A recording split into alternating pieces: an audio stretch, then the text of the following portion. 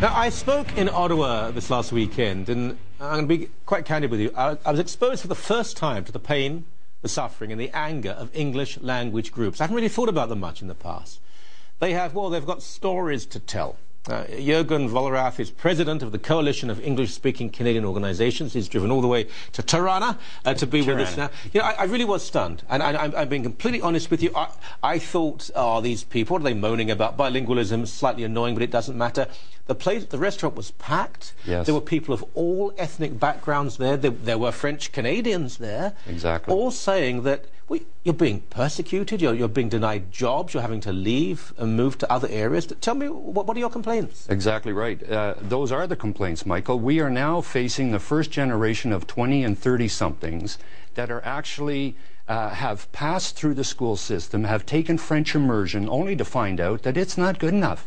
It's not going to work for them. For what? So you know, to get jobs in not only in the uh, federal government, in the provincial government, in municipal governments, and now because of the lies and the spin that has been perpetuated through this this notion that we're a bilingual country when we are not. Mm-hmm. Um, even the private sector has bought this spin. And now the private sector is putting language restrictions on the most meaningful, meaningless jobs. So even your muck jobs are now getting uh, bilingual uh, classifications. Where though? Because I, people watching Eastern Ontario, okay, because in the west of this, the country and in Toronto as well, right. this would all be a surprise. That's correct.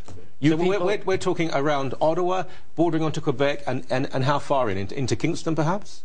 I know a registered nurse in Kingston whose family has been there for 150 years and was just told that her French wasn't good enough to work as a nurse in the hospital.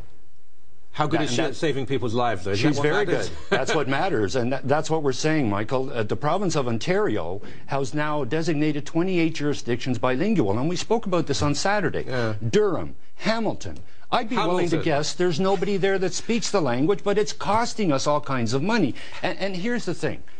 Uh, a couple of years ago, we had contacted the mayor of Winchester. Winchester is a little burg uh, just south of Ottawa. And uh, we called him and said, "Did you know that you were designated a bilingual jurisdiction by the by Premier McGuinty?" And he says, "No, no, it's not possible. Everybody around here speaks English. It's not a problem." And I said, "Well, just check the, the Ontario government website," and he did. And we called him back a little bit later, and he said, "Well, it's no problem. We're just going to have to translate some stuff." And I said, "No, no, no. That it goes beyond that. Because what happens is this, Michael, and this has happened in the federal government, and, and, and it was very, very slow in developing, but now we're starting to see the fruits of this whole thing. Uh, what happens is is that they will get the frontline worker Susie coming in, who's been working there for 20 years. Uh, somebody's going to come in who's French, demand to get the service in French. She won't be able to speak French. She will either be moved, let go, or put in a different position to bring in someone who can then service but, that client. And here's where it goes from there, but, Michael. But, but, the per, but the person who wants to be uh, served in French has a right to be served in French. And that's where we have a problem because originally, when the Official Languages Act was created, it was to supply services where numbers warrant. And yes. that's where it's run amok the numbers don't make sense. Well, you, you, mentioned Hamilton and you mentioned Durham. Let's, right. say uh, Oshawa and Hamilton. I, I, yes. I, two places I know very well. Right. I've never heard French spoken ever exactly. in either of those cities. Exactly. So why would they make them bilingual? And, and then you have to have people employed in government services who speak French, Correct. even though no French is spoken. Correct. You've already had a situ- You've had two situations here in Toronto that I, I, don't understand why you people didn't raise your eyebrows up. One of them was a fellow who came into Toronto, made a, an illegal left-hand turn. I remember this and, and took went to court and won because it didn't say no left turn in French. You also had someone complain on your GO trains there wasn't enough advertising in French. So your GO trains had to put advertising.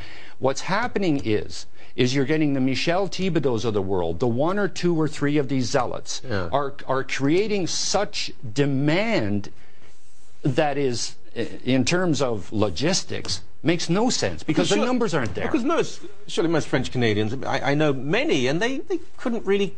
In I fact, know, they're not even huge fans of bilingualism. They I just know. say, let us speak what we want to speak. Exactly. That's why we don't understand why this country is being changed. Think of it this way, Michael.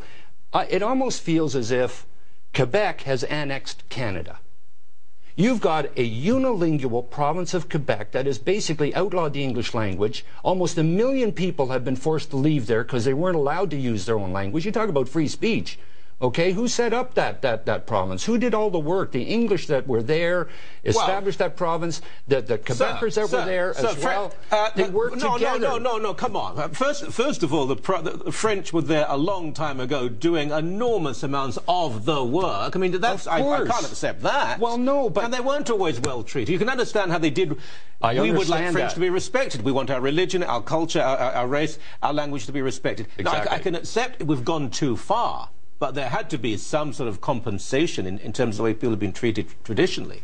But hasn't the compensation reached its zenith? I agree. Right? I and, absolutely and, agree. So we've come to a point now where it's gotten where, where if 22% of this country, Michael, are French speakers, but we have 67% representation in our federal government, the numbers just don't make sense. Mm-hmm. Right? Someone told me on Saturday that, that, there were areas, again, Eastern Ontario, that had English names like Queenston and so on, yes. and, and they were suddenly being changed to yes. French names. What's that about? All over the place. Uh, there was uh, amalgamated uh, counties, uh, Glen, Gary Prescott Russell. Uh, one was changed into La Nation. Uh, they're changing street names in Orleans, in Ottawa. Um, all little. what's happening is is the English schools that we've had and the English names on those schools when they've kind of run their course it becomes all of a sudden a bilingual school. So now you have maybe 30 or 40 kids going to this one school that used to house three or 400 children, mm. and they're putting up these green and white flags. And uh, but, but English is the expanding language, even within, yes. certainly internationally, there's no doubt about of that. Course. But within Canada, people who come to, to this country, they're, they're, learning English, they want to speak English. And so the demand exactly. for, for English language, even in your part of the world, it, it, it's not for French, it's for English. Well, is well, the demand uh, completely artificial? The demand for English? No, the for demand French. for French. Yeah. It's totally artificial. In some areas, it is not. I'll grant you that. And that's where we go back to, Michael, where numbers warrant. If you've got a village that's totally French, of course you provide the services in French.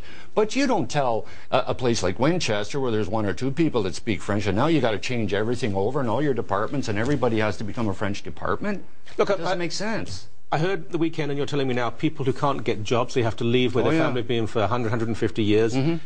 Injustice, it's obvious injustice. Yes. Why isn't a politician, why, why, why, isn't a bureaucrat standing up and saying, hey, come on, we just want to be reasonable, take care of everyone, but right. this is vindictive? Why aren't they doing that? Because we can't talk about this, Michael. We're not allowed to talk about this. As I told you earlier when I came in, I'm, I'm so fortunate to be here to actually be here talking about this. This is a subject that has been taboo. You can't touch it. And, and here's a perfect example. Dr. Jim Pankiw, when he was a, an Alliance MPP from Saskatoon Humboldt, mm-hmm. uh, Dr. Pankiw stood up in the House when Don Boudria was the acting Prime Minister. He stood up in the House and he, and he asked the, the acting Prime Minister, he said, listen, um, based on uh, the incremental um, official bilingualism yep. and the fact that it is, uh, you're getting more and more people into bilingualism, yep. but you're having a corresponding decline in the number of Anglophones that apply for jobs in the, in, in the government. Mm-hmm. So what, what are you prepared to do about the systemic and discrimination? And he stood up and said it's the most insulting question I've ever heard in the House of Commons. Well, then he hasn't travelled very much, has he? Exactly. We'll have you back on the show because I'm not going to bow down to any sort of censorship. Thank you so very much. Well, thank you, Michael. Thank you. Okay. Thank you.